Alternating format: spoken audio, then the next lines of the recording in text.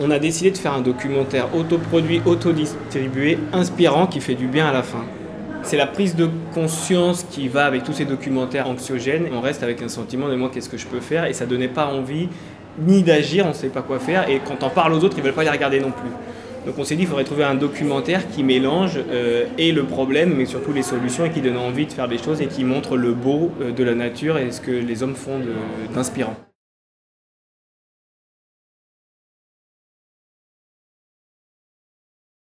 On a rencontré une trentaine de gens et euh, quand on a eu reçu tous ces messages, euh, à un moment donné, on était un peu aussi submergés. Euh, c'est des gars qui ont, fait, qui ont réfléchi toute leur vie à des problèmes super profonds. tu les interviews une heure, puis tu te retrouves dans une cave devant ton écran. dans quel ordre on met tout ça Comment est-ce qu'on l'agence Qu'est-ce qu'il faut garder aussi? Prendre le temps d'arriver à digérer tout ça et savoir quel, quel message pouvait ressortir de là en fait, pour arriver à le transmettre. C'était ça le but. Donc on a décidé d'autoproduire ce film et de l'autodistribuer, donc un maximum de gens puissent se relier autour de ces messages. Ça dit simplement qu'on n'est pas à sa place et qu'on prend le temps de se connaître et euh, de se reconnecter un peu à soi, on trouve en soi justement des réponses. Une fois qu'on arrive un peu plus à sentir qui on est, quelles sont nos valeurs, quels sont nos objectifs, de se mettre en chemin et d'essayer de les réaliser en fait, bah, ça fait que la vie est plus simple et que euh, les choses se passent en fait, ça coule. C'est une des conclusions du film, c'est de, aller avec le courant et que euh, une fois qu'on essaye, je pense, de matérialiser ces valeurs dans des projets concrets, ça fonctionne. On est bon dans ce qu'on fait, donc on a après de la réussite et que c'est une loi, j'ai l'impression, qui peut s'appliquer à chacun. Quand on parle de la quête de sens, c'est comment est-ce qu'on transmute ces choses-là pour aller essayer d'apporter sa pierre et quelque chose, de rendre le, le monde plus joli, plus beau. Un des messages forts qu'on a envie de faire passer, c'est qu'en tant que citoyen, on a le pouvoir. On a senti qu'il fallait se lever pour faire quelque chose et, euh, et on s'est mis sur un rail, on a pédalé et puis on n'a pas maîtrisé vraiment les paramètres. Quoi.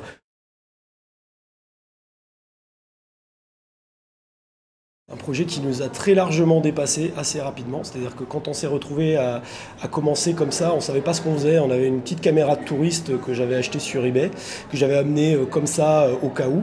Moi j'étais parti présenter un film en Inde. Marc est arrivé, il était super motivé pour euh, commencer un film sur le changement global, les alternatives, etc. Et moi je dis bon bah on commence à filmer, on verra bien. Et puis effectivement là on a rencontré des gens tellement lumineux, tellement impactants. Satish Kumar, Vandana Shiva, le premier ministre du Tibet, des yogis qu'on avait rencontrés Là, ça nous a vraiment assis. quoi. C'est des interviews, euh, Vandana Shiva, en 20 minutes, c'est presque 2-3 jours de digestion, et tu sais pas quoi enlever en fait. Et donc là, on s'est senti euh, en responsabilité de partager ces messages, et finalement, ça nous avait aussi donné le virus et l'envie d'aller plus loin, de continuer, parce qu'on avait ouvert une petite lucarne sur, une compréhension beaucoup plus large de tous les phénomènes qu'on vit actuellement. Le film qui était un prétexte à la rencontre, mais finalement, c'est les rencontres qui sont devenues les prétextes à, continuer un film, et euh, c'est devenu beaucoup plus vaste, beaucoup plus large et on ne décidait plus grand chose en final. C'est beaucoup de rencontres qu'on a fait sur la route par la suite, euh, de contact, de contact. On n'a pas planifié grand chose, il n'y avait pas de production. On était juste un peu au fil du voyage. C'est un peu passé comme ça. Et on a commencé à filmer en 2009. Ça a été terminé, tourné en plus ou moins dans l'été 2011. Et depuis, c'est de l'écriture, du montage. Et il y a aussi beaucoup de gens qui sont venus nous aider. Mais nous, on ne voulait pas être producteurs. Euh, on a cherché à avoir euh, des producteurs en revenant, parce qu'on avait tout plein de rush, on savait pas trop trop quoi en faire. Et on a même trouvé des producteurs d'ailleurs. Et en fait, sur la base d'un ours, on a essayé d'emmener le projet en télé, sauf qu'ils ne savaient pas où le mettre. Moi, ce qui me mettait en colère, c'était cette destruction du vivant, euh, cette, marchandisation de la nature qui détruit notre écosystème, notre maison, et qui met les individus les uns et les autres en compétition et qui prive un milliard de personnes de nourriture alors qu'on peut nourrir tout le monde. Il y a une partie des humains qui sont empoisonnés par des produits chimiques et une nourriture industrielle toxique, et en même temps un milliard et demi de personnes qui n'ont pas assez à manger, qu'on a privé de leur autonomie pour leur imposer un certain nombre de règles et de lois, notamment avec, l'OMC. Donc c'était cette inégalité, cette inéquité, alors que des solutions existent pour une espèce de cynisme ou une fameuse loi du marché qui fait que ce serait obligatoirement comme ça et qu'on ne pouvait pas changer les choses. La partie de l'aventure dont elle est le plus fière, c'est d'être partie juste sur une intuition forte qu'il y a quelque chose à faire et c'est ça qui est juste de faire. Et ce film a l'air de participer, là on se rend compte à la fin des projections, à, inspirer les gens à se relier, à se reparler, à se sentir pas seul, et à montrer qu'il y a une vision du monde qui est en train d'émerger, plus solidaire, plus écologique, et qu'on est de plus en plus nombreux à sentir ce besoin. Le film, ça nous dépasse. Nous, on n'a même pas le temps de gérer Facebook. C'est les gens qui, euh, qui envoient, qui organisent des projections, et on sent et cette solidarité, cette interdépendance qu'on a vécue dans la production du film, et qu'on revit maintenant dans la, dans la distribution.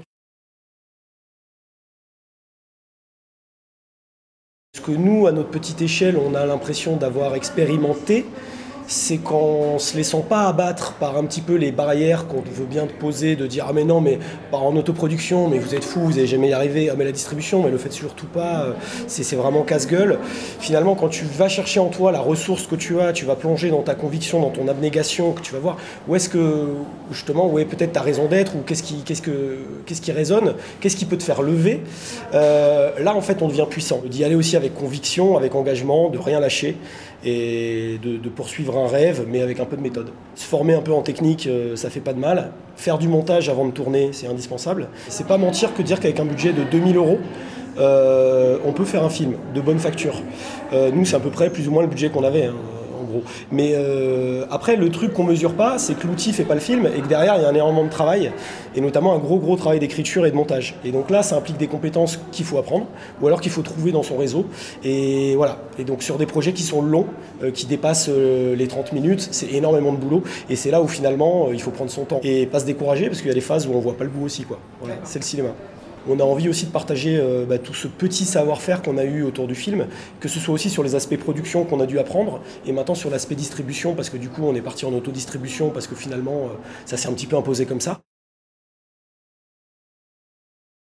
J'étais obligé de changer de vie parce que je pouvais plus retourner dans le moule. Déjà, je m'y sentais pas très bien, mais il y a un moment, on a pris une telle dose de sagesse que ça a été la principale difficulté en fait, de voir comment est-ce qu'on arrive à vivre avec ça. Et puis on a appris à vivre de manière plus simple, à programmer beaucoup moins de choses, à se défaire des projections des uns et des autres qui pensent qu'on peut pas vivre différemment et qu'il faut forcément qu'il y ait une routine, enfin qu'il y ait une sécurité. Donc c'était surtout ça en fait. D'avoir transformé une colère, de voir un monde qui vraiment ne nous plaisait pas, en fait, et cette énergie de colère, de la transformer en quelque chose de beau et quelque chose d'inspirant. Et personnellement, c'est un enrichissement forcément euh, très fort. Il y a certains messages qui nous ont vraiment impactés, euh, qu'on a pu digérer. Et, là, ça t'ouvre à une nouvelle compréhension des choses, ça t'ouvre au fait que d'autres gens voient le monde différemment. On a tout redécouvert, en fait. Je me rappelle très bien qu'après l'Inde, on s'est assis on a dit, mais euh, on est allé à l'école pendant 25 ans, et en fait, on n'a rien appris. On ne sait pas qui on est, on ne sait pas ce qu'on fait là. Euh, on maîtrise finalement peu de savoir-faire concret. On sort un peu moins, on boit moins d'alcool, on fait attention à ce qu'on mange. Enfin, c'est plus dans, des petites choses au quotidien qu'on essaie de retrouver une forme de cohérence. On a trouvé de la joie dans la simplicité, dans des choses du quotidien et qu'on se projette beaucoup moins, on a beaucoup moins d'attentes, on accepte plus les choses et on est beaucoup plus joyeux en fait. Et on a trouvé une autre dimension de la vie. On s'est rendu compte que c'est des clés pour apprendre à vivre, à vivre avec soi, à vivre avec les autres, avec la nature. Donc ça, c'est déjà le, euh, plus grand enseignement et ce que ça nous a apporté ça réveille le côté explorateur, le côté euh, il y a d'autres choses à découvrir. Le monde n'est pas la toute petite boîte dans laquelle on a essayé de nous enfermer et qu'il y a des secrets, des merveilles, des individus qui font des choses et de se ressentir vivant en fait. Je crois que c'était la vie en fait avec un grand V qui appelle à sortir de notre petite boîte pour exprimer autre chose. Je dirais c'est comme c'est comme de faire la vaisselle avec ou sans la musique en fait. On fait toujours la vaisselle mais il y a une autre dimension qui vient qui rythme la vie différemment. Et, euh, ça, ça, valait le coup de faire ce voyage pour découvrir ça.